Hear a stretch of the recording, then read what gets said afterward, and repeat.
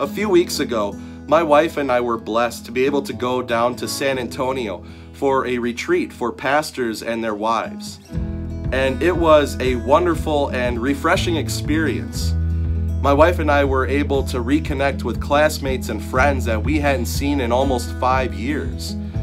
We were able to relate to each other's stories and struggles, and we were encouraged by one another.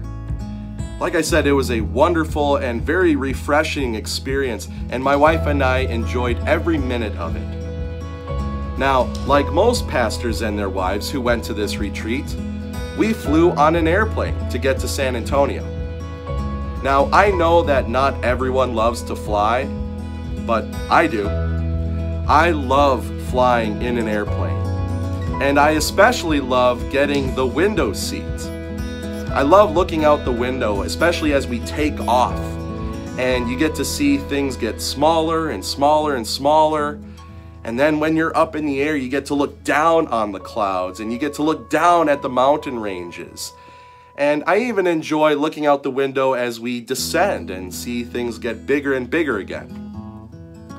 Well, when we were leaving San Antonio, I was blessed to have that window seat again.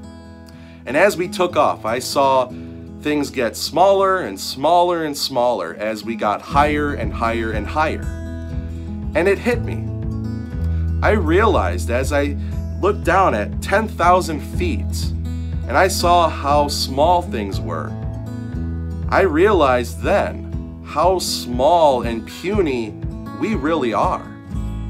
Especially as you think about the, the size of our planet the size of the universe, the size of God's creation, we really are small and puny in, in the grand scheme of things. But that's not the case with God. We have a great big God who fills everything in every way, as it says in Ephesians chapter 1. And that great big God loves little old you and puny little me. Psalm 8, verses 3 and 4 says this When I consider your heavens, the work of your fingers, the moon and the stars which you have set in place, what is man that you are mindful of him? The Son of Man that you care for him. We have this great big God who fills everything in every way. And he considers little old you and puny little me to be his greatest treasure. It's mind blowing. That great big God sent his one and only Son, sacrificed him on a cross to wash away all of your sins, all of my sins.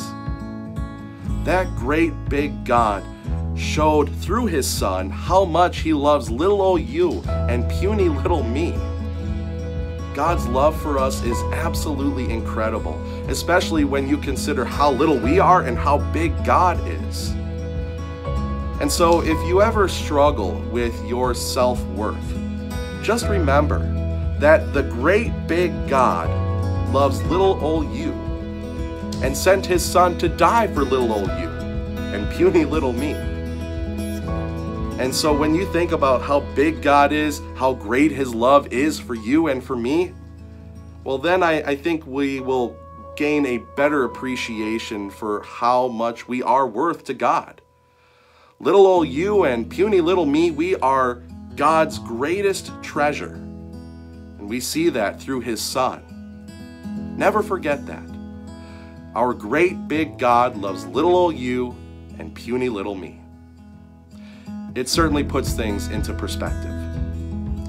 If this devotion was a blessing to you, please like and share with others. God's blessings to you all.